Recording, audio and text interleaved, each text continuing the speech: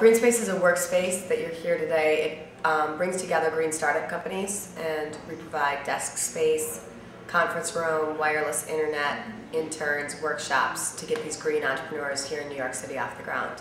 We're creating great synergies by coming together because we're all in different industry groups. We can share ideas, uh, contacts, and different types of resources. As a startup, you typically only have one to two to three people, so you're really limited in terms of the resources, and by being together, you're a lot stronger.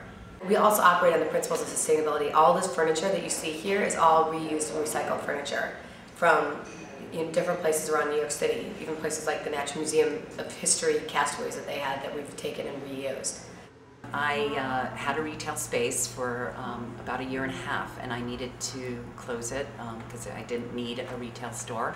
And so in that process I needed to, I was looking for another space and my business coach ended up uh, sending me a link, sending me an email with a link to Green Spaces. I've been concerned about the environment and our, our you know, as they're calling our carbon footprint um, for, for over 30 years. It just kind of made sense when I, then I heard about the workspace rental um, as opposed to only, you know, having the whole space and renting a whole space. Um, I just, you know, it clicked when I saw uh, Green Spaces. I found a post on a blog called treehugger.com that was looking for an intern to design work.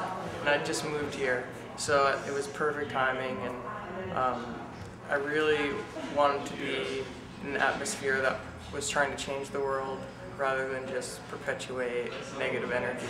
This will always be our central hub right here in downtown Brooklyn, having this workspace here. Um, we're planning and growing and we're developing partnerships with other spaces um, both around New York City and Manhattan and then also around the country.